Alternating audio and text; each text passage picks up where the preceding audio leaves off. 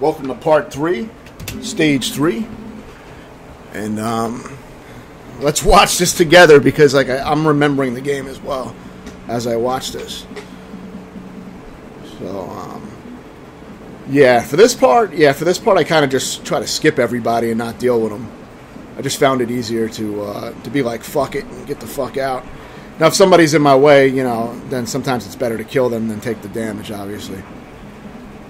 In this game, I believe you can bump into enemies, so keep that in mind. They only hurt you if they actually land an attack on you. So you can touch them, unlike a lot of games. I mean, you'll probably learn that, but if you don't pick up on that, it's worth knowing because then you can exploit that at various points. You know, if you, it's good to know that.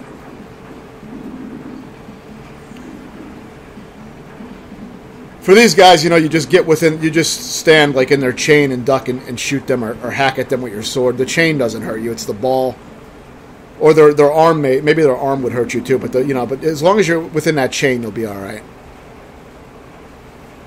And as I've been saying, I mean, you'll see if you saw the other videos. You know, I practiced pretty much each section with save states to learn them, so I recommend doing that.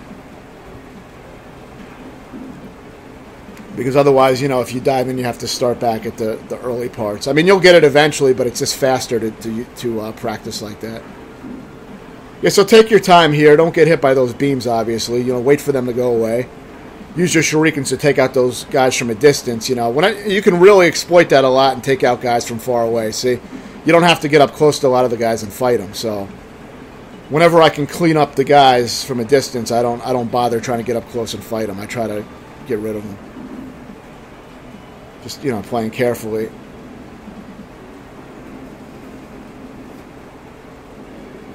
When you see the little flame uh, emerge for you know a second or so, you'll know that the flame is about to come out. So that's when you want to be prepared to dodge it, either jump it or duck it, depending on your positioning. You know, pretty standard.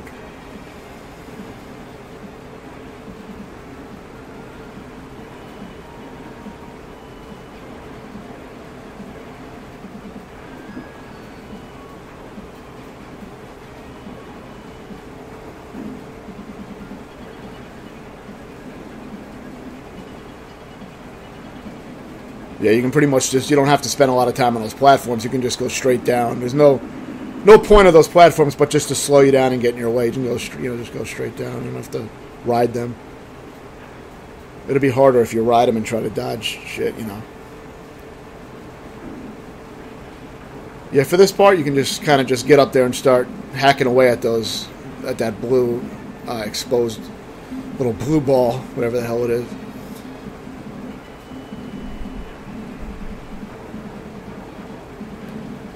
And uh, you know just be aware of the other shots. Try not to take too much damage. It's pretty yeah, pretty simple. Once one of them is gone, it, it gets easier.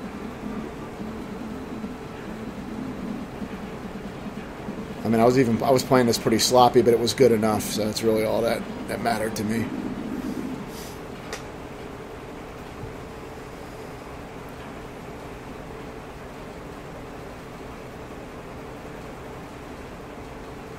I definitely recommend this game if you're looking for a uh, you know a great Super Nintendo action game to play that you're not familiar with.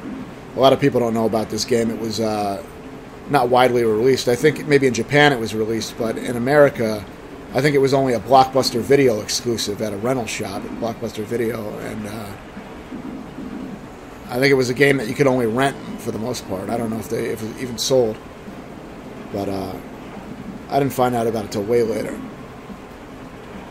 I tried it years ago on emulation, and you know, even the first level, I remember it was it was tough for me at the time. But my mind wasn't. I wasn't really, you know, in a mood for a hard game. You gotta have you get your mind has to be in the right state of mind. And back then, I wasn't doing the practice with save and load states and all that. I was just pretty much just playing games straight through, and you know. Once I did that, it really opened up games for me. And of course, I became a much you know better player since that point. That was a while ago but yeah, not much to say. It's more about your positioning in that last section. You know, you just got to be positioned right, which you'll just learn by practicing the level. So there really wasn't much to say there. Here, I try to, you know, whenever I have a chance, I try to kill everything immediately with my sword. For some reason, I liked using the sword here as opposed to just throwing the shurikens at everything, but Maybe I was saving ammo. I don't remember exactly. Because there is a boss. Uh, it's possible I was saving ammo for the boss, but I don't remember. Miss, I missed the one up there, which would have been useful, obviously, but it, it didn't really matter because you have unlimited continues, and I was just trying to beat each level anyway, and then I would st- and then I would commit suicide usually and get all my lives, you know, my lives back for the next section. So I wasn't too concerned about that, you know.